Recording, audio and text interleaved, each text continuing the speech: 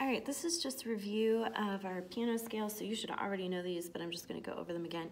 Remember that our hands are thumbs are ones, twos, threes, fours, and fives.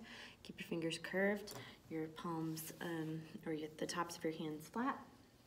I'm gonna do right hand, C major, no flats, no sharps. Starts and ends on C first.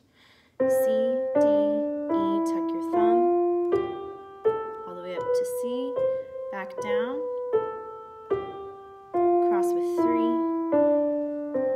So again, with just finger numbers. One, two, three, one, two, three, four, five, four, three, two, one, three, two, one. Left hand is the opposite. We start with our fives um, and go up to the top, crossing after you get to one.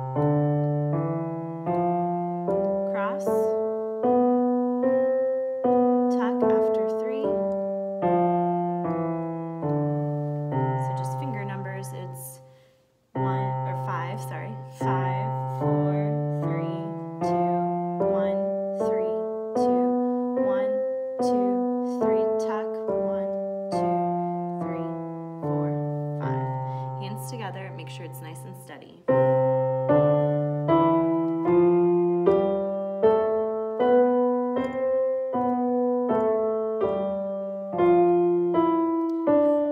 I totally messed up the left hand. Um, I'm gonna move on, I'm gonna go to G. Remember in G we do have F sharps, like here, okay? And we start on a G.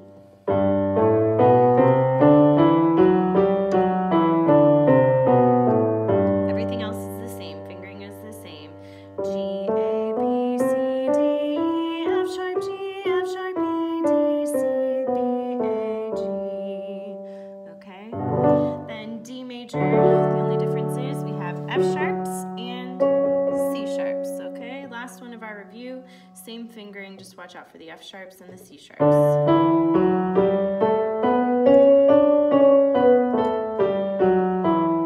If it doesn't sound like that, it's not right. Remember, you can always schedule um, office time with me, uh, current GHS students.